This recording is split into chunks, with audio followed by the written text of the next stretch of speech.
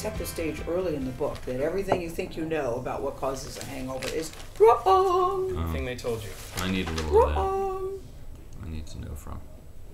It's really it's really disappointing, actually. You just drink a lot of water, right? Isn't it all dehydration? You do get dehydrated, That's but you get you get you can be you get rehydrated and you still have a hangover, and That's your right. electrolytes are back to normal, and you're still hungover. So what's what's the secret? Everyone wants to know. I think I think it's anti-inflammatories, but the problem is Really? that then you get all of the side effects of anti-inflammatories. So like if you're taking ibuprofen, then Yeah. you get GI problems. If you're taking Oh. I like taking that. Tylenol, you get liver problems. So, like Mm-hmm. Don't like- drink so much. the, the Don't drink only so way to win much. is not to play. But there, Right. there, I, I do think that I, I think there is something to a couple of ibuprofen and maybe a Pepcid. Mm. I'm not a doctor, so do not Mm, follow my mhm. advice.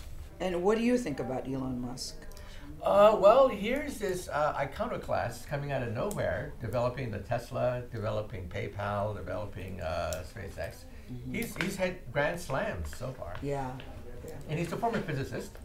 And um, he just goes to show you what entrepreneurs can do. They can really shake things up. This could be a new era. Uh, and that era is in three to four years, uh, we will have our own uh, launch vehicle. We're not going to be at the mercy of the Russians. And we're going to ha- we're going to have cheap access to outer space. What is the benefit to going to space? Well, the short-term benefit is, of course, the unmanned space program, with the satellites, communication, the internet, uh, probes to the solar system, and so on and so forth, right? But the long-term implications are, some people think that we should be a two-planet species. The dinosaurs had no space program, Uh-huh. and that's why they're not here.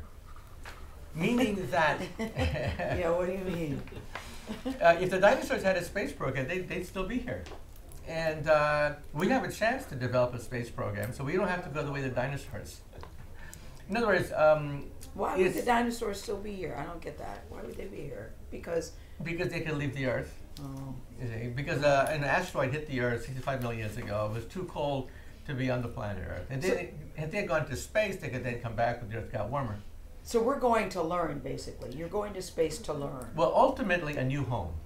A new home in space. Because it's a law of physics that we're going to have to leave the Earth sooner or later. We have no choice. Yeah, yeah, yeah. The sun will eat up the Earth in 5 billion years. We'll have another ice age, meteor, asteroid impacts. Mm-hmm. There's no particular rush, but we should become a two planet species.